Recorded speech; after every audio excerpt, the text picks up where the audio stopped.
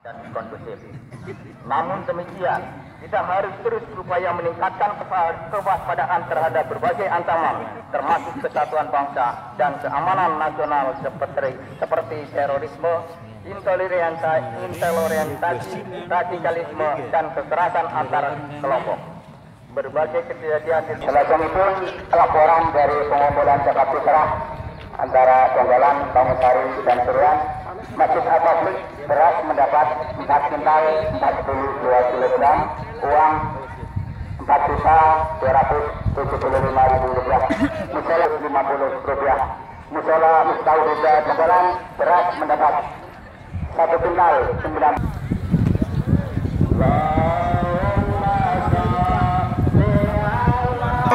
ngajan ngajan nih